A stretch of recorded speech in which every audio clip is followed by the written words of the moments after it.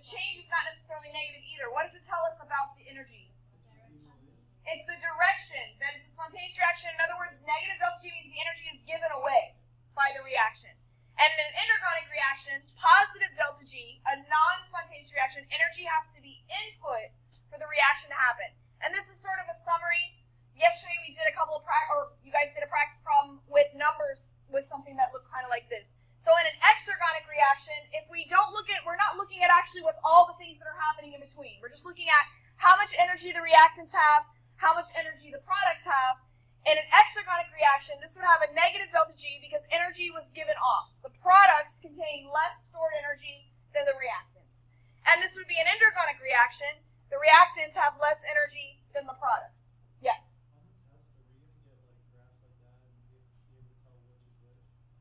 I could give you a picture like this and ask you if it's an exergonic or endergonic. Absolutely. Yes. So, and remember, numerically, you could also get this with numbers because you would subtract final minus initial. So if you got a negative number when you subtracted, um, like in this case, if you do final, if we put numbers here, and this was like, let's say this was 10, and this was 50, then the change here would be negative 40, right? So 40 kilojoules of energy would have been given off by that reaction. Okay, but this picture doesn't really tell us what's happening as the reaction progresses. We're going to see a different graph, which if you started the worksheet yesterday, you probably saw number seven, had a different graph. We're going to get to that one right at the end today. Now, a closed system, like you do a reaction in a chemistry lab. You basically mix two chemicals together, and the reaction happens, and then the reaction pretty much is finished, or it reaches a point of equilibrium, sort of like with diffusion. You put food coloring in the water, Eventually, the food coloring is all spread out. Everything doesn't stop moving, but there's no net change. We talked about that in the previous chapter. When we say, so that's what we mean by a closed system. You mix stuff together and you let it go. You don't add anything else. You don't take anything away. Closed systems, a closed reaction where you're not adding anything after the fact or taking anything away after the fact, will eventually reach a point where delta G equals zero. And when delta G equals zero, there's no change occurring in energy, so we say that no work is being done at that point, which means that in a living cell, we should never see delta G zero because living cells are not closed systems. Right this moment, you're breathing in oxygen. So you're not a closed system. You're taking in a reactant all the time. You're exhaling carbon dioxide. You're also exhaling water vapor. Your cells are constantly, your mitochondria are converting oxygen into carbon dioxide. Your cells are constantly building proteins, breaking down fats, doing all kinds of stuff. So we don't consider living things a closed system. A closed system it would be if we locked you in a jar and you basically couldn't get any new stuff and you couldn't get rid of any old stuff and everything would just build up and you obviously wouldn't live very long under those situations. Even the earth is an open system, right? We're taking in sunlight. We're giving off heat. So anything that's taking in new uh, reactants and giving off products that are being used up and passed along, etc., are open systems, and you should never ever see delta G zero, because it, that would pretty much mean no work was being done, and there should never really be a situation where no work is being done by yourselves if you're alive. So reactions are something that are happening on a continuous basis. So when we look at those snapshots of endergonic and exergonic reactions, we are just looking at a snapshot for a single reaction. Um, but the truth of the matter is, in a living cell, it's a lot more complicated. There's all kinds of reactions, um, and you're constantly bringing in new reactants and releasing and converting products. All right. Um, so, knowing that, here's I like I like this illustration. so, the water moving down. This is exergonic right? This doesn't require any energy because basically just because of gravity, the water is going to move. That's going to turn this turbine, and lighting the light is technically an endergonic reaction, but the power generated sort of powers it. So you're using the power of an exergonic reaction to power an endergonic reaction. And that's sort of what your cells can do as well. That you have some reactions going on in a cell that are releasing energy, other reactions need energy. You have the power, or your cells do, to pass the energy on just like this uses this and traps it and then lights the light bulb. Now, this is a closed system, so eventually the water level, level evens out, this is equilibrium, the light bulb. This cell would be dead if this was a, a living cell. It basically ran out of reactants, it can no longer do anything. So this would be more like your cell. You're constantly taking in new things, you're constantly giving off products, and so you can continuously convert and, and uh, release energy and light the light bulb if you think of the light bulb as you being alive. So I kind of like this. It's a very simplified illustration. And remember how yesterday I mentioned that some reactions are not just one step? Think of some reactions like this. That you might, this might be the final product that you need here. But what your cells can do is in a series of steps, break this down. And at each step along the pathway, you can release certain amounts of energy. So this kind of gives you a, I, I kind of like I said, like this analogy that it kind of shows you how our bodies work. That they're not closed systems, but you have lots of reactions going on all the time. And that the energy released by one reaction could power another reaction. Now, in a living cell, what kind of work do we do? Because we're not lighting light bulbs, obviously, in our cells. There are basically three kinds of work. Chemical work, which is the building and breaking down of molecules, like breaking down sugar in your mitochondria, like building proteins, making hormones, making cell membranes, all that kind of stuff. Transport, like, remember the sodium potassium pump was a kind of work that was transport. And then mechanical, in other words, movement. Your muscles contracting is actual movement, mechanical work. So, again, chemical, this is your reactions that are going on in your cells. Transport, like, for example, the NAK sodium potassium pump, things like that, carrying things through. And mechanical, even endocytosis is, is, is mechanical in a way. A cell surrounds and eats something, and your muscles contracting. Now, all of these things require energy. So to do this, what your cells use is what's called energy coupling, like coupling as in putting together as a couple.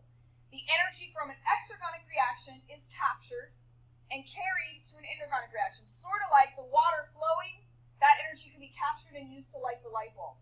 But in a cell, the way that we do that is using ATP.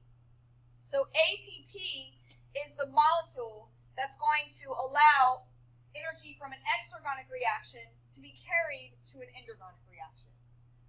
And so we're going to very briefly, the, actually the next two chapters after this, which are photosynthesis and cell respiration, are much more detailed about ATP.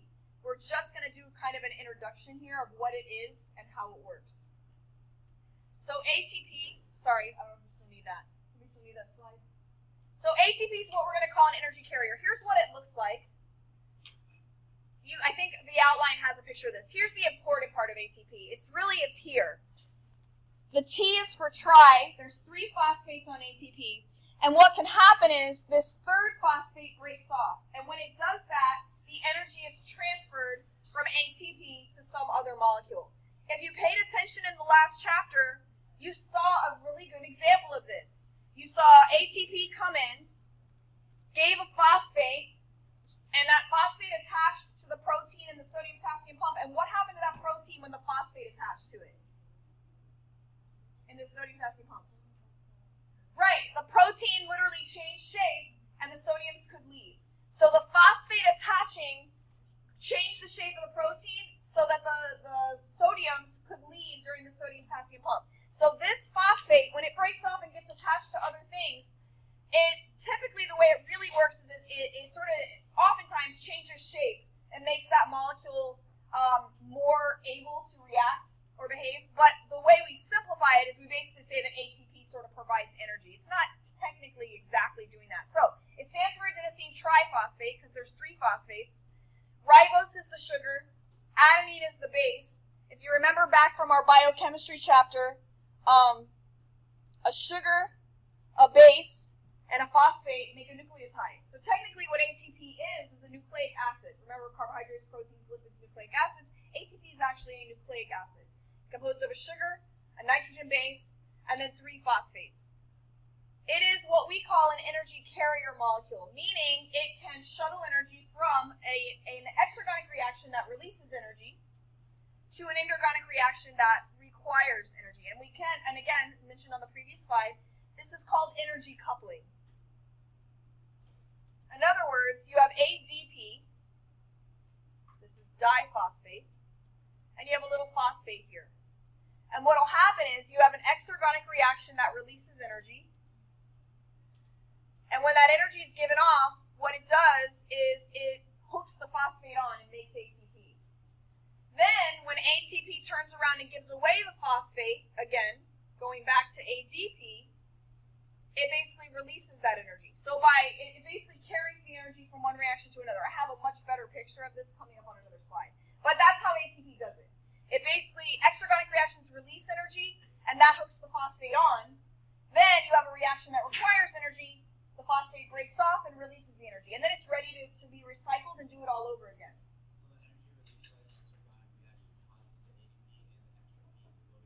Exactly. That's exactly it. So the energy, so that's how it transfers. It's sort of like if you were playing hot potato. If you ever played that game where you pass it and you don't, you know, they're gonna yell stop and you don't want to be holding it. So you grab it. That would be sort of like me becoming ATP. Now I pass the phosphate to somebody else and I pass the energy along. And then I can become I can become ATP again and I can go back to ADP. And it just goes back and forth. So it's constantly being recycled.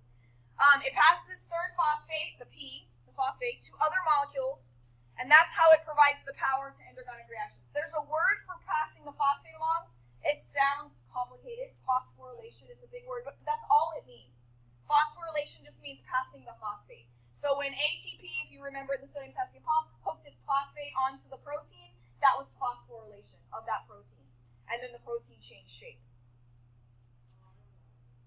So that is what phosphorylation is. And again, the way that it really works on a technical level, it's not so much that phosphate has a bunch of energy in itself, but there's something about phosphate, that third phosphate breaking off and hooking to something. A lot of times the way it works on a mechanical level is that when that phosphate hooks to something, it changes the shape of that molecule. And for whatever reason, that often allows the molecule in a chemical reaction to react more easily. Or in something like the sodium potassium pump or muscle contraction, it's what allows the movement, the change in shape that allows the movement of things.